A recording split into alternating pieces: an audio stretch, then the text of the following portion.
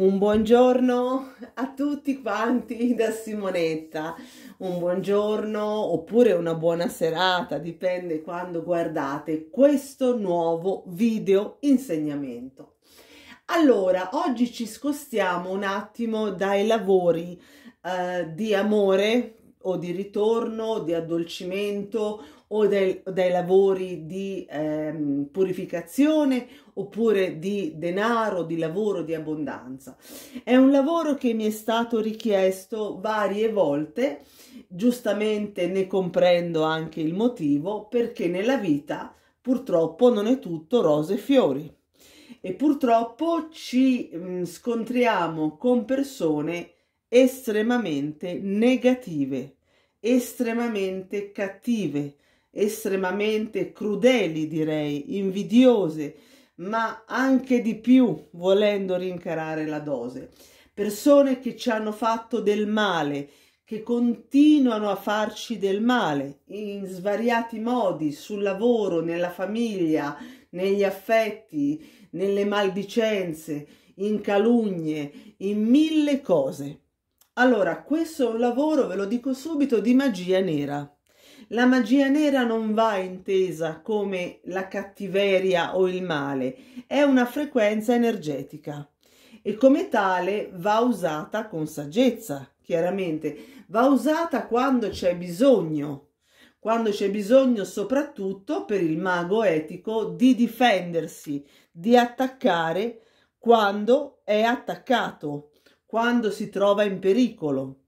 Quindi non diventa magia nera che porta conseguenze come i famosi colpi di ritorno, diventa un'azione necessaria per difenderci e per fermare questa negatività. Perciò, se avete subito dei grandi torti, delle cattiverie, eh, dei soprusi, se vi hanno fatto del male, se ve lo stanno facendo, potete punire duramente con questo lavoro di magia nera la persona che vi fa del male. Se sono più persone dovrete fare un'operazione alla volta. Questo lavoro potete farlo sempre, non ha importanza il giorno, non ha importanza la lunazione, mm, non ha importanza nulla, lo fate quando vi sentite di farlo. Soprattutto vi consiglio di farlo se potete in orari serali o notturni. Poi, se proprio non potete, vi concentrate, vi ritirate nel vostro luogo di lavoro, nel vostro tavolino e lo fate anche di giorno, ma verrà più forte se lo fate di notte. Eh, questo per fare un preambolo. Guardate, servono pochi elementi. Allora, una penna rigorosamente nera, eh? oppure un pennarello se volete, una matita nera, però deve essere nera. Un pezzetto semplice di carta, niente di più e niente di meno. Un piattino che poi vedrete a cosa serve e una candela nera. Io qui ho messo un pezzettino di candela nera perché non importa che sia anche eh, intera, se vi avanza anche della candela nera da altri lavori potete usare un pezzetto di candela nera, altrimenti userete una candela nera nuova. Però serve il colore nero, non può essere cambiato con il bianco, con il rosso, eccetera. Tutto deve essere color nero. Come altre cose, vi suggerisco di preparare un vasettino di vetro, di quelli che usiamo a casa e poi laviamo e conserviamo per fare tante cose. Può essere anche un pochino più grande. Io ho preso questo che mi sembrava abbastanza adatto. E come altra opzione mh, mm, un pezzetto di stoffa nera quindi un pezzetto di stoffa di raso, di cotone nera, eh, uno scampolo di stoffa nera. Poi vi spiegherò per quale motivo. Io qui adesso non ce l'ho perché mi manca, però ve lo spiego a parole così capite benissimo. Mi raccomando, non prendete il pezzetto di stoffa nera però ritagliandolo dai vostri vestiti. Dovete avere o proprio un pezzo di stoffa da cucito oppure appunto eh, per il fai da te che si, che si comprano nelle mercerie tranquillamente al metro ne, ve ne basta comunque un pezzetto eh, non, non serve chissà quanto perché poi vediamo a cosa serve allora eh, come si inizia? Si inizia così, intanto chiaramente andiamo a centrare il bersaglio. Il bersaglio è la persona che dobbiamo punire, che dobbiamo pesantemente colpire, perché ci sta rovinando la vita. E scriviamo un nome. Io metto un nome di fantasia, mettiamo, ecco, la penna che funziona, Daniele, Daniele Poggio, mettete la data di nascita se, se l'avete, un, uh, qua sta penna, un, 11 uh, giugno 1970, mi è venuto così. Allora, scrivete con la penna nera nome, cognome e possibilmente la data di nascita della persona eh, da colpire, la persona su cui volete vendicarvi, uomo, donna che sia. Mi raccomando, fate questo lavoro ovviamente per vera e comprovata necessità, altrimenti poi il problema torna a voi. Quindi ve lo dico, già lo sapete in tanti, è chiaro, non fatelo per giocare, si tratta di un lavoro molto pesante, quindi fatelo ovviamente per giusta causa, per rimandare indietro il male, per punire pesantemente la persona che vi ha fatto o che vi sta facendo del male. Poi cosa fate? Potete piegare anche un attimo il foglio in modo che sia più comodo fare l'operazione della combustione. E prendendo la candela nera quindi usando come eh, accensione come vettore di fuoco la, la fiamma che viene dalla candela nera voi fate ardere questo foglio, lo fate bruciare, chiaramente usate un piatto o un contenitore, lo fate bruciare e dite sette volte Daniele Poggio, da questo momento tu non avrai più pace. Daniele Poggio, da questo momento tu non avrai più pace.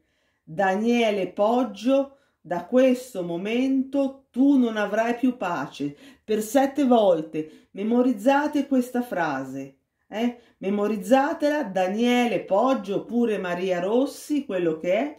Da questo momento tu non avrai più pace. Ripetete con rabbia, con concentrazione, mentre mentalizzate la persona poi se volete potete dare fuoco ancora di più se non è bruciato completamente perché deve diventare cenere. Daniele Poggio da questo momento tu non avrai più pace. Da, da, questo momento tu non avrai più pace. Daniele Poggio da questo momento tu non avrai più pace. Ripetendo e mentalizzando quindi visualizzando nella vostra testa la persona, ripetete sette volte questa frase semplice, magica, ma molto potente, che da questo momento questa persona non avrà più pace, che vuol dire veramente tante cose. A questo punto avete ottenuto della cenere, eh, né più e né meno. Avete incenerito la persona. Cosa fate? Avete queste opzioni e le opzioni vi prego di memorizzarle oppure poi di riguardare il video, ma sono semplici.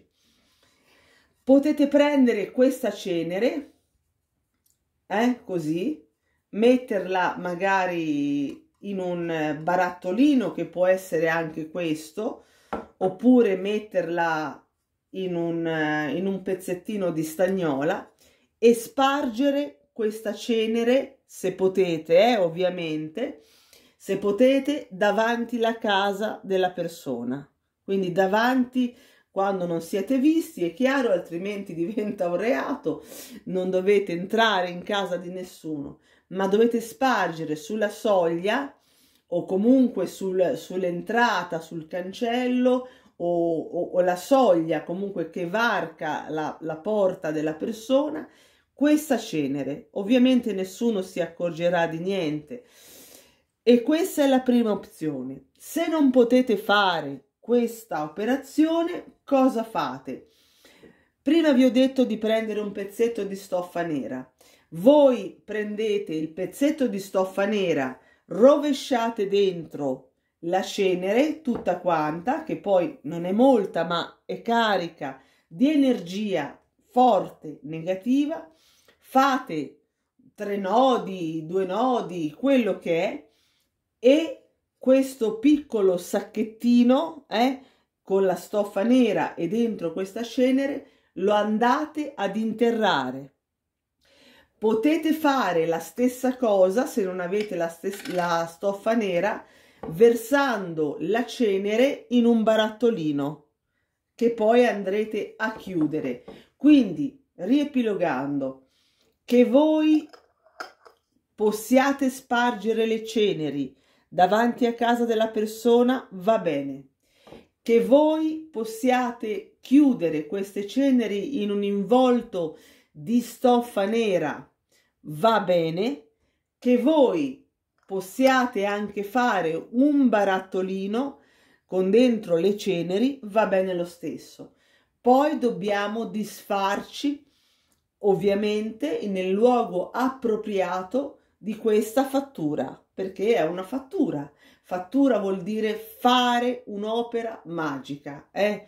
In questo caso è una fattura però di magia nera, di magia di attacco e difesa. Cosa fate? Voi mettiamo il caso che avete usato il barattolino, per fare un esempio. Il barattolino lo chiudete molto bene e lo andate ad interrare in un cimitero oppure lo andate a interrare in un luogo eh, desolato, eh? un campo desolato per fare un esempio, potrebbe essere anche un bosco, può essere nei pressi di una discarica, non vicino a casa vostra. Quindi questo, questo barattolo oppure il sacchetto nero eh, va interrato in un cimitero o in, un, in, un, eh, in uno spiazzo di terra eh, veramente abbandonata, desolata, eh, potete interrarlo anche in un incrocio dove c'è terra. Eh? Interrare vuol dire prendere chiaramente una palettina, scavare con un pochino di pazienza, fare una buca e ricoprire il tutto. Fate questa operazione perché questo lavoro deve andare sottoterra. Non perché noi diciamo che la persona deve andare eh, all'altro mondo, eh, ma perché non deve avere più pace. Ricordatevi la frase di prima eh, da questo momento tu non avrai più pace per sette volte. Fate questo lavoro, non lo fate per gioco perché non può essere nemmeno disfatto a meno che non ci sia un operatore eh, valido eh, in grado di disfare una fattura di questo tipo e vedrete che via via che passa il tempo questa persona comincerà a avere un sacco di problemi avere un sacco di, di situazioni eh, veramente spiacevoli e chiaramente poi a lasciarvi anche in pace. Con questa spiegazione, con questo video insegnamento che spero sia stato chiaro, vi saluto per il momento, vi mando un grande bacione sperando che tutto vada sempre meglio nella vostra vita e vi ringrazio, come sempre dico, per il vostro affetto, perché mi seguite, perché mi contattate. Chiaramente vi invito a iscrivervi al canale, vi invito, se vi va, eh, non fatelo per forza, vi invito a dare un like e da Simonetta per oggi, poi vedremo se riusciamo a fare altro, per oggi è tutto con questo nuovo rituale. Un abbraccio e a presto!